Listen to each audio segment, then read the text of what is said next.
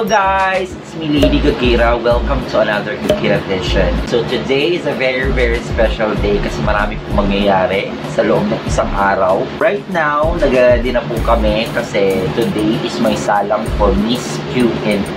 And is Miss Q&A Intergalactic 2019! Nagahalo-halong emotion, hindi ako nakatulog ng maayos kasi kabado ako in kahapon pa lang. Pupunta na kami doon, tignan natin kung talo or panalo pero wala akong pakialam doon kasi ngayong gabi, mamimit ko si Dua Lipa. At meron po dito isang epal, nakala niya ang payat-payat niya. Nakikita ko din si Dua Lipa. Yan o ngayon, di mo. Di ba mamua? Mm. Mama, bakit ka? At gwapa. Ito na kami sa ABS-CBN. So, medyo napaaga yung dating namin. 6 a.m. yung call time namin. Pero, dumating kami ng mga 5.40.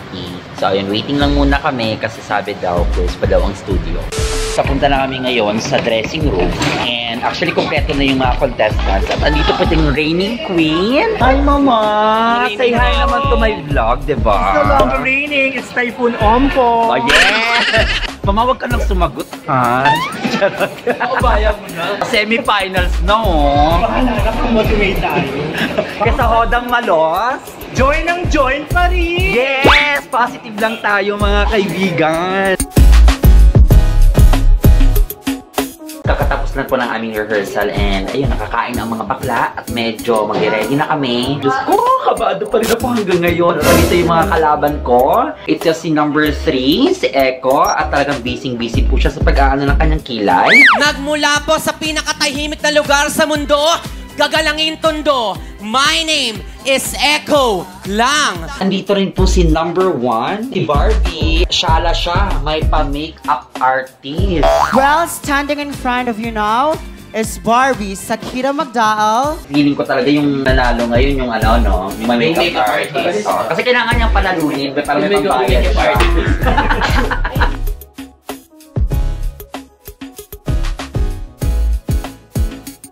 this is just mga kaibigan. Tapos na pa ako mag-makeup. Actually, ready-ready na po kami. Kinakabahan pa rin ako ngayon as in mixed emotions at sakit ng chan ko. Para akong natatae. Tapos biglang sumakit naman yung ngipin ko. Diba ang dami ko nararamdaman?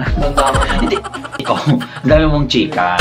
Magligpit ka dyan. Ayan po, tinatawag na po kami mag-dress rehearsal lang po kami ng very very light. So, maya-maya, ikita niyo na po ako sa TV. Lalaban po tayo mga kaibigan.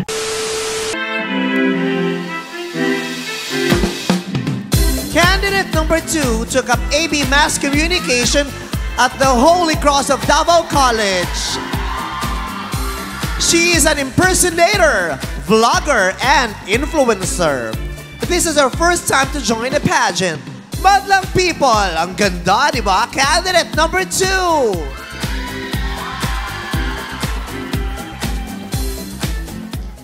Being gay is not a sin. It is a blessing from God and it is something that we should be proud of.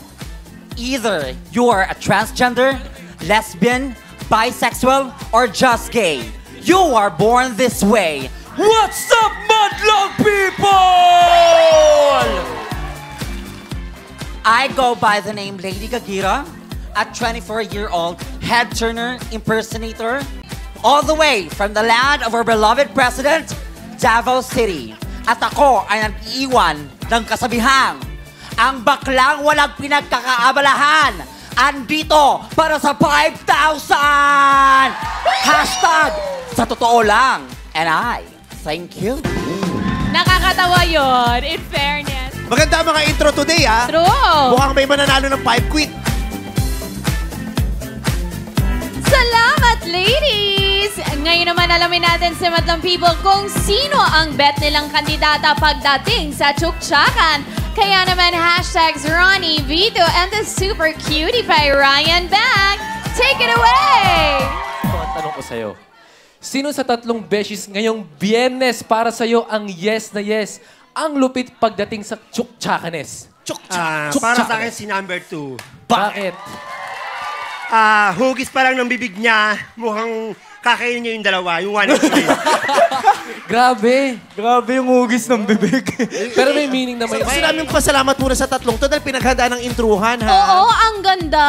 Ang ganda ng mga introhan nila. May mga araw kasi nawali. Talagang Oo, labag hindi- sa kalooban namin magbigay ng five At quit. saka hindi makapili. Oo, eh, alam mo naman yung five quit, no? Alam mo, maaaring ikahirap ng programa natin yan, kaya tinitipid-tipid natin yan. Pero ngayon, parang nahirapan kasi magagaling silang tatlo. Oh, palakpakan natin silang tatlo. Sino ba ang nagustuhan nyo, madlang people? One, two, or three? Pagdating sa tsuktsakan. Ito, two. Merong one doon. Oh, May eto, three may din. three. Alright. Good Eto luck na. sa inyo tatlo. Ang Bexin Chukchak sa araw na ito ay si candidate number...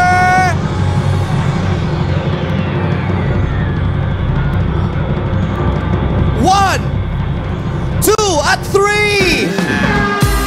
Lahat kayo ay tatanggap ng... 5,000 pesos! Congratulations, mga Oh. atse! First time natin magka-triple tap! Pag deserve naman, ibibigay. Pag hindi Yes. deserve, wag na. Mamimihasa. Congratulations sa inyong tatlo! Ay, taray, oh. Tatlo, yung, tatlo rin yung sash. Yung isa to follow, ha? Ay, pero wala kang sash, kaya okay na na wala kang sash. Ang makukuha mo 5-5, okay lang? Okay lang po. Ayun! Palagi naman po ako sa ano, fast food chain. Willing Oh. to wait. Okay, ah. Sa, sa yung sash, o gusto mong bigay sa kanya, para, para 5. Yung walang sash kasi 5-5 ang panalo. Ah, okay din po. Ako na po gagawa mismo. Oh, so, Oo. Paserox ko na lang yung kanya. Pwede na rin yun. congratulations sa inyong tatlo. happy. Simulan na natin ang first round. Ang unang makakapindot ng buzzer ay kailangang magbigay ng tumpak na sagot sa aming katanungan. Susundan ng kandidatang nasa kaliwa niya hanggang sa makaikot sa lahat ng kandidata. Kapag nagkamali, naulit ang sagot o walang naisagot, ay ligwak ang kandidata sa tanong na yon. Ang huling kandidatang may tumpak na sagot ay pasok na po sa next round. May limang segundo to answer at dapat magsimula sa I believe ang bawat sagot. Madlang people, ito ang Ibigay mo na! Try muna natin mga buses kung gumagana kasi nag, nag-alat kami ng pera sa Sash. Baka nawalan kami ng pera sa kuryente. So number one, pakipindot. Baklan to. Lambot. Number two, Lady Gaga. Ay, Ah, oh. Oh. Si Mother Monster. Orak. Papindot, madam. Ay, sinara. Sinarado. Yung binuksang pinto ni number two, sinara niya. Ayaw ni madam. Yun ni madam ng ganyan. Si number two naman. Ito, yung mukhang, hin- yan yung mga itsurang hindi ba bastusin sa kalsada. Oo. Di ba? Bakit? Mukhang may kapangyarihan siya eh. Ah, meron. Oo. Paano? Bastusin mo yan, tignan ko lang kung hindi nako. Lalaki yung nasa pagitan ng binti mo. Oo. Ganon sila, isusumpa ka nila. Oh. Ang ganda ng hair mo, I love it. Thank you so much po. Pati And makeup mo, ang ganda-ganda. Maraming salamat po. Ako lang din po gumawa ng makeup. Oo. Influencer ka, di ba? Yes po. Oh. Ano ano ini- ini-influence mo sila sa masamang bisyo? Ano ka Ah, influence? pwede din naman po. Tsaka vlogger. ah, yes po. Ah. I am a YouTuber uh, with like minimum lang na ano subscribers. Ilan ang subscribers mo? 36,000 lang. Ay, madami na Uy, yun, ha? oo, Para sa bongga na yun. pangkaraniwang tao, ha?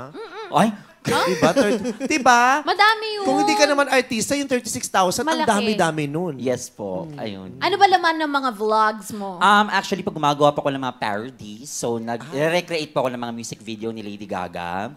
Ah, also, naging impersonator din ako ni Katy Perry, ni Cardi B, ah, Iggy Eh, Azalea. ano mo, i-plug mo yung YouTube, ano mo? yung vlog mo. Um, sana po makapag-subscribe po, ko- ah, po kayo sa aking YouTube channel. That's Lady Space Gagita. Gumagawa pa ako ng mga ah, makeup Gagita? tutorials. Yes po, Gagita. Ah, ikaw ba si Lady Gagita? Yes po, ako po si Napanood Lady ko- Gagita. May napanood na akong video mo dati. Baka po Alin may dun? mga napanood kayo na mga yung parody ng Pa-Baby Girls. Oo. Opo. Sikat yung Lady Gagita, naririnig ko. na. Ay, ikaw Salamat pala yun. po. Nice to meet you. Isa po ako nang nag-model sa ah, beauty rally niyo po noong um, launch ng Vice Nung lo, Cosmetics. sabi na eh. Oo. Yes po. Salamat. Ano yung pinakasikat mong vlog? Sample naman. Mahirap pag live kasi video yung sa kanya eh. Ah. Oo. Das lip sync, lip sync. Mm. Ah, Puntahan kaya niyo yung mahirap. site niya, mag-subscribe YouTube, kayo dun sa channel niya. Lady Para Gagita. dumami. Yung pinaka-famous po na vlog na nilabas ko po is yung nag-meet kami ni Katy Perry personally. Ay! That was like months ago and then yung parang, alam mo yung surreal na very, very, um, hindi mo ma-explain yung yung yung feelings mo kasi nakita mo na, na personally yung yung idol mo and ang reaction niya parang nananalamin ako. Alam mo yun, galing from her na Sa alam ko nakita? naman, sa ano po, sa meet and greet ng Witness the Tour Saan yan? Sa sa Easy... Mawa Arena po. Kala ko, sa Isitan Recto nagsha-shopping siya. nagsha-shopping si Katy Perry sa Isitan Recto. Bumibili ng mga DVD pirated. Uy, wag.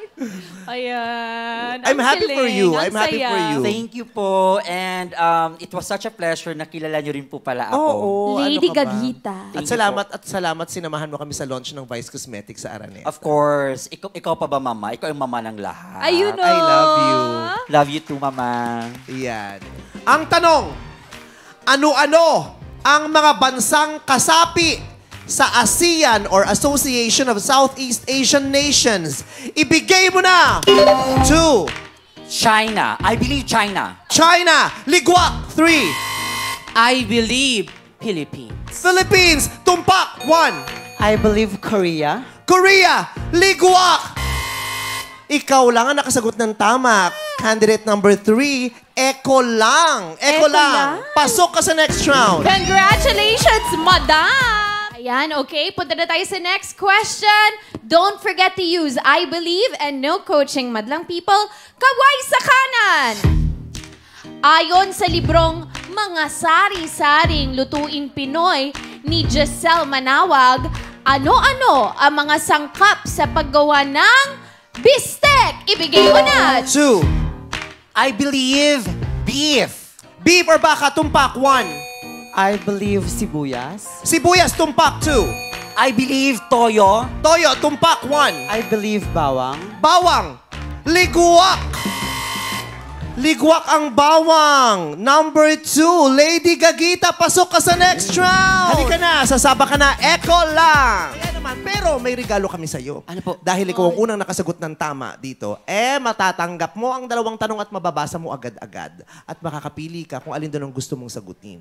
Pero kailangan hamunin at talunin mo si Lady Gagita ng Beklaban. O kung gusto mo ng patas-patas lang, walang Beklaban, bunot ka lang kung alin ang bet mong mabunot. Dahil tayo'y laking librarian, Beklaban. Beklaban! Ayan, Lady baba Gagita! Magtalikuran na kayo at mag-ready na kayo. Okay, ready?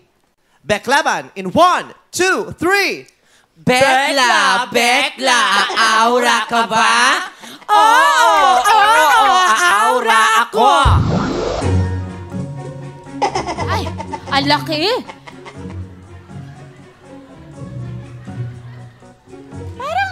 Siyang ginawa. Parang First Lady ng Amerika versus Imelda. diba? Liberty versus Imelda. Okay. Walang masyadong effort. Tumayo lang. Ayan. Yaman-yamanan. Itong Ito, sina- effort. Hindi ko talaga maalam kung ano siya. Malalaman natin mamaya. Pero dahil ikaw ang humamon, ah, echo lang. Sino ka dyan? Ako po ang voice prompt ng Waze. Ako po ang nagtuturo ng iba't ibang daan. Ikaw ang voice? Prompt Voice ng Waze. prompt. Ako po ang nagtuturo ng iba't ibang daan. Sa tingin ko sa'yo, ikaw ay isang manananggal. Kaya naman, 5 meters straight. After 5 meters, turn right. Then exit, go out. Bawal dito ang aswang. Ah, Tinuruan niya ng anyways So, Lady Gagita, sino ka naman dyan? Mali ang hula mo. Ako ang araw. Subukan mong lumapit. Hmm. Tigo kaday. Oh, you're the son? Ha, I'm the daughter. S-O-N yun, S-O-N, S-O-N. Oh, S-U-N siya. I am the daughter of the lady in the voice prompt of Waze. Yan. Five meters, turn left.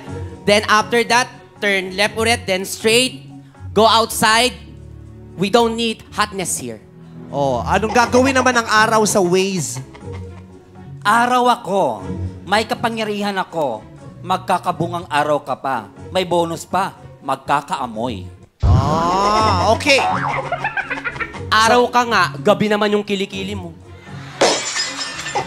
Ay, gabi daw kilikili mo, oh. Ah, alam ko na, eclipse ka, ganon. Kahit gabi ang kilikili ko, wala ka pa ring laban sa akin. May bagyo, oh. Parating na, oh. Makikita mo ba yan? Kahit anong bagyo. Up, up, up, up, up.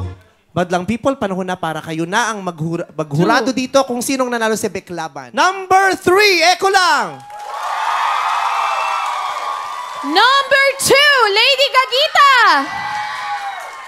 Mas maraming pumalakpak kay Eko lang. Kaya panalo si Eko lang sa Beklaban. Congratulations, Eko lang, Lady Gagita. Thank you, Lady Gagita. Balik ka na doon at tumalikod ka muna. Ang tanong na napili ni Eko lang, candidate number three ay, sa iyong palagay, natutuloy ba ang rally ng mga tamad? I believe, natutuloy daw ba ang rally ng mga tamad? Madlang people, hindi po.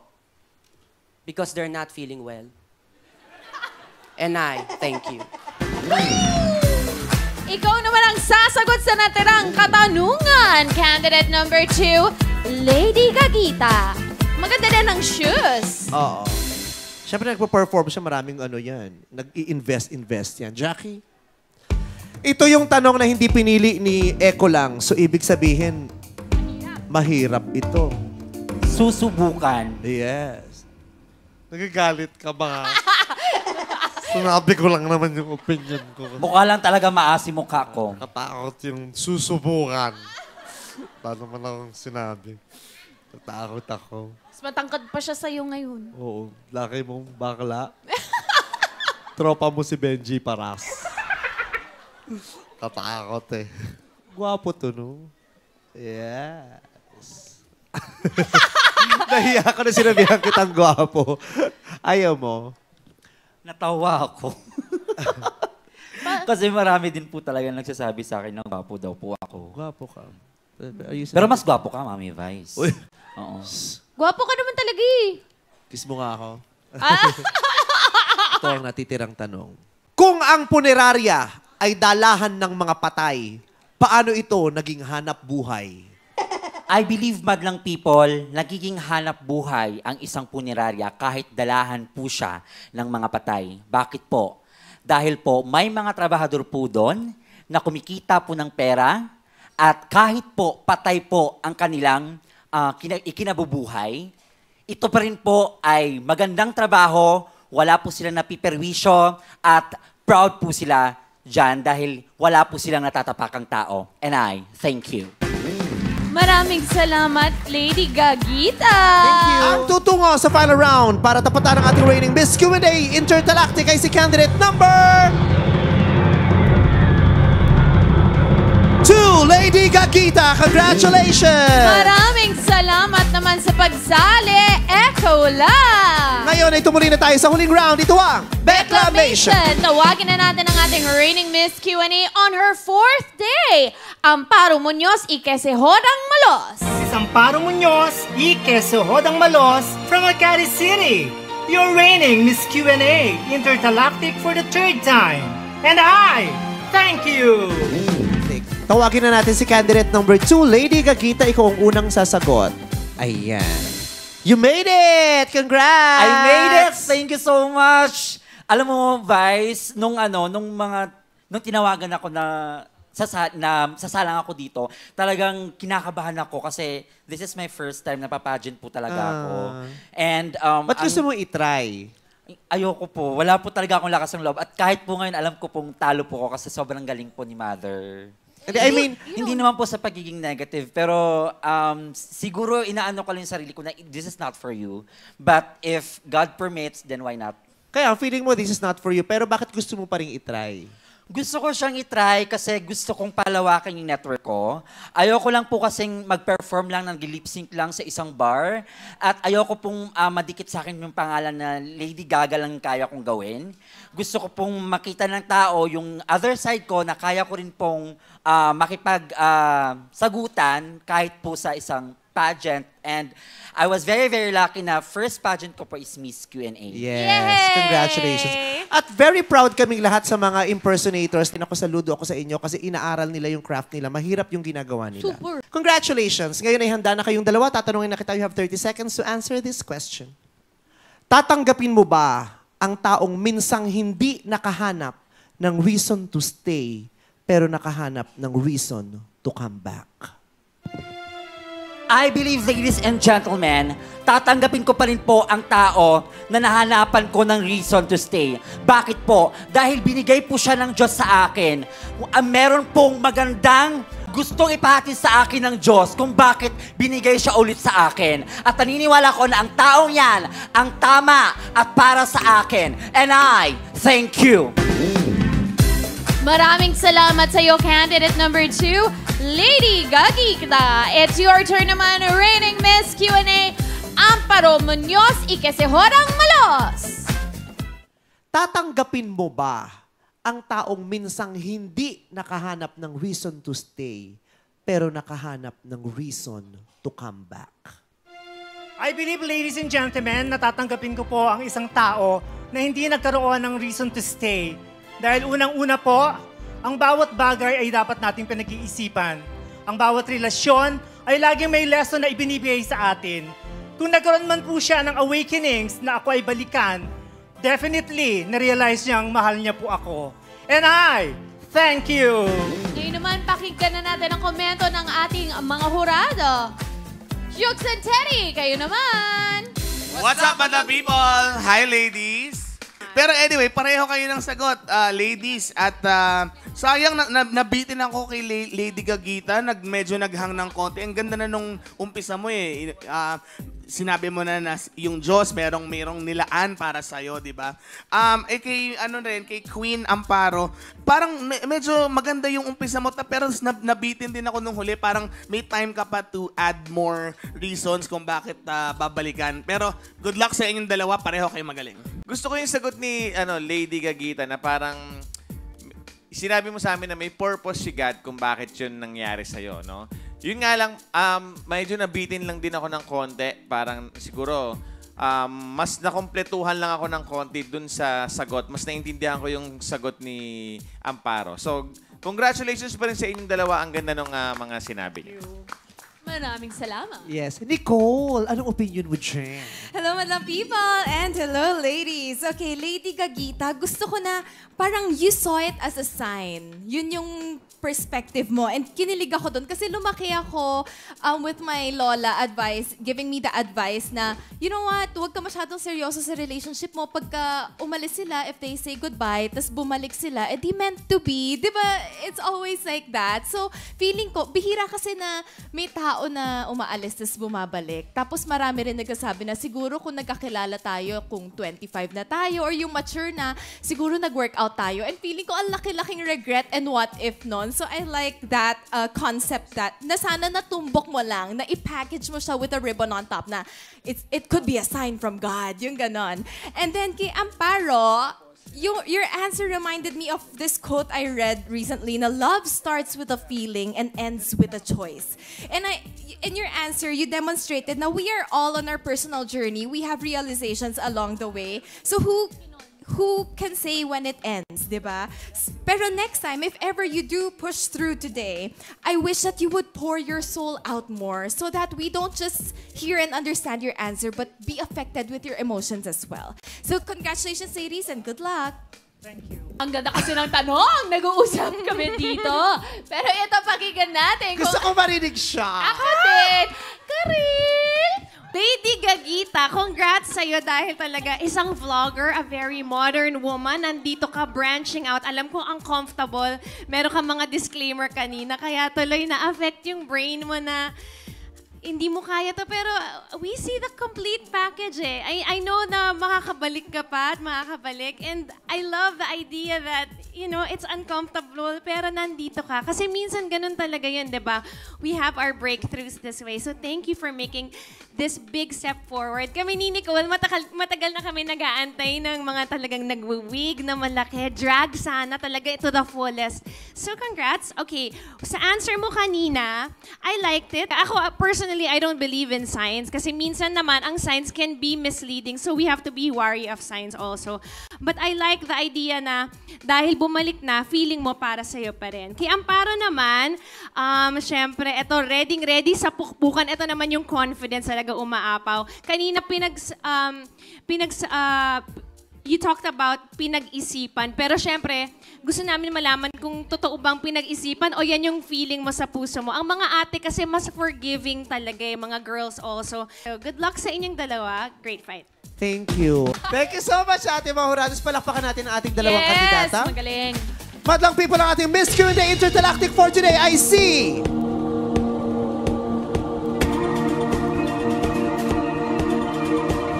Ang parong si Ike, si Hodang Malos, ikaw pa rin ang ating Miss Q&A. May panibago kang corona, pang-apat na yan, at nakaipon ka na ng 80,000 pesos. Maraming salamat naman sa iyo, Lady Gagita. Mag-uwi ka naman ng 10,000 pesos. Hanggang sa susunod na banggaan ng mga beshing palaban sa talakan dito sa Miss Q&A Intergalactic 2019. So, syempre, after the pageant, ang pinakamainit na pageant, andito yung magpapainit ng hapon. Here's Greg! Say hi to my vlog. Kumusta mga madlang people sa vlog niya? Make sure to subscribe. Pogi, oh. Pogi! Sino? Saan? Ako na lang. Oh, siya. Siya pala eh. Thanks, Greg! Thank you, guys. Mwah, mwah, mwah. Mwah. And also, here's Miss Nicole Cordoves. Hi! Okay na ba yung pagsagot ko, madam? Yeah, it was very good. Talagang bilang first time mo, no, it was really good na. Thank you po. Ay, naku, bak- baka mamaya, araw-arawin ko rin pagka-pageant. No? Bumalik ka, bumalik ka dito. Hindi ko po sure eh. Try natin, madam! Go, go, push na, push.